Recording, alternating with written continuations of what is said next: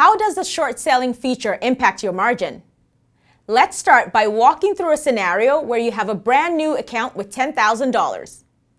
For any short sell order, the amount of margin required is equal to the money you receive from shorting the stock plus the margin requirement of that stock. Yeah, it's a mouthful, isn't it? Let's break this down. If you short $5,000 of stock, the $5,000 doesn't immediately become yours. In fact, the $5,000 acts as collateral against the shares that you borrowed, and it's held in escrow until you close your short position. You also wouldn't earn any interest on this cash. Even still, you need to put up some of your own capital as collateral as well. Remember that for most stocks that trade over $5, the margin requirement is typically 30% of the value.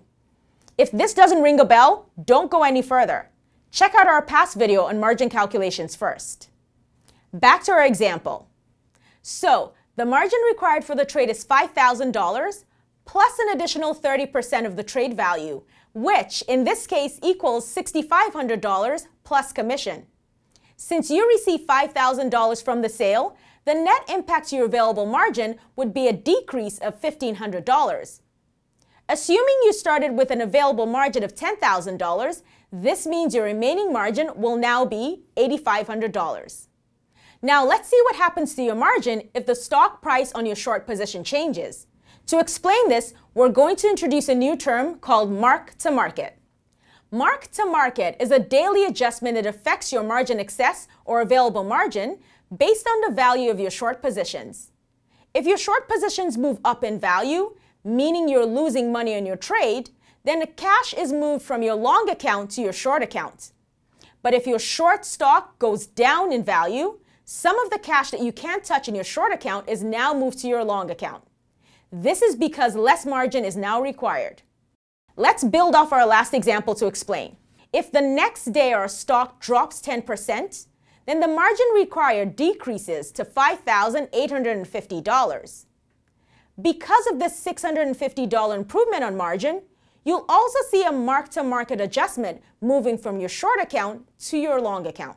One thing to note is that there's a limit on how much you can short, just as there's a limit on how much you can buy with margin. Unlike a long margin account where the cap is based off of the amount you're borrowing, for a short account, the limit is based off of the market value of the stock that you're shorting. For example, a stock with 75% margin requirement only allows you to sell $50,000 worth of the stock. Any stock trading under $3 a share or that has 100% margin required can't be shorted. Check out the short concentration guidelines for details.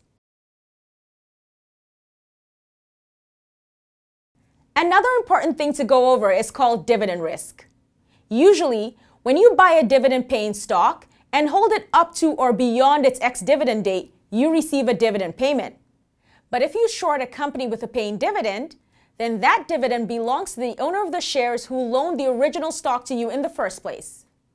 This means you need to pay the dividend back to the shareholder when the dividend is paid. This is something that can catch many investors off guard. It can be surprising to see a dividend amount taken out of your account. So keep this in mind if you're looking to short a dividend paying stock. Finally, when you hold a stock long in your account, you can't short the same stock in your account until you've closed out your long position. For example, if you have 500 shares of ABC1 on the long side of your account, you're not able to short any shares of ABC1 until you sell that long position first. The reverse also applies if you're shorting a stock.